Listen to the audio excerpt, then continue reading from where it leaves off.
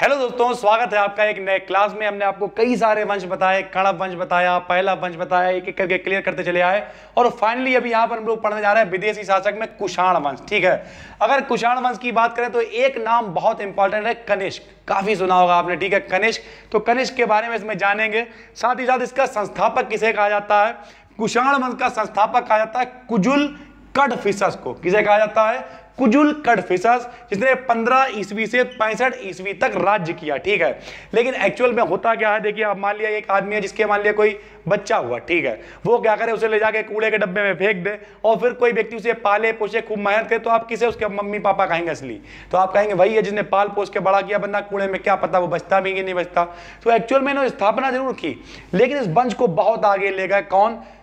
वास्तविक संस्थापक कहा जाता है, इसके दूसरे शासक बिंब कटफिशस कौन? बिंब कटफिशस तो वास्तविक संस्थापक बिंब कटफिशस पता होना चाहिए। देखिए लिया इंटरव्यू वगैरह आप देखने गए उन्होंने पूछ लिया, भाई कुछाण वंश क्या वहाँ पता है। संस्थापक बताइए, आपने ये बता दिया। फंस गया। तो उन्होंने कहा, भाई, सर, आप संस्थापक पूछ रहे हैं या वास्तविक संस्थापक पूछ रहे हैं? तो बोले, वास्तविक तो सर ये वाले हैं, संस्थापक तो ये वाले हैं, ठीक है? और एक बहुत इंपॉर्टेंट बात है कि स्वर्ण सिक्कों का सिक्कों का नियमित चलन किसने किया? वास्तविक संस्थापक बिंब कट फिसस ने, ठीक है? तो कुल मिला के हम आपको पहले ही बता चुके हैं कि स्वर्ण सिक्कों का चलन पहले भी हो चुका था, ठीक। मिनांडर ने किया था, लेकिन कुल मिला के वास्तविक नियमित रूप से चलन किसने किया? बिंब कट फिसस ने, ठीक है?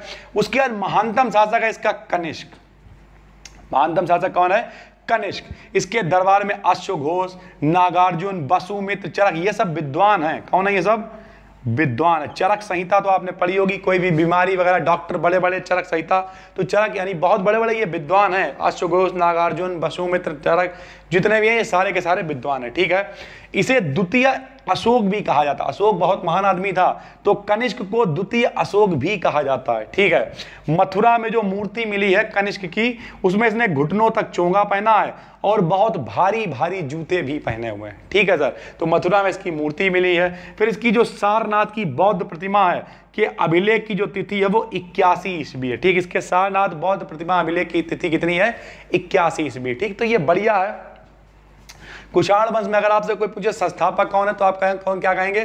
कुजुल खटफिसास है। कौन है? कुजुल खटफिसास है। लेकिन वास्तविक संस्थापक कौन है? बिंब खटफिसास है, ठीक है। फिर इसके महान शासक में कौन आता है? कनिष्क आता है सर जी, कनिष्क की मूर्ति कहाँ मिली है? मथुरा में मिली है।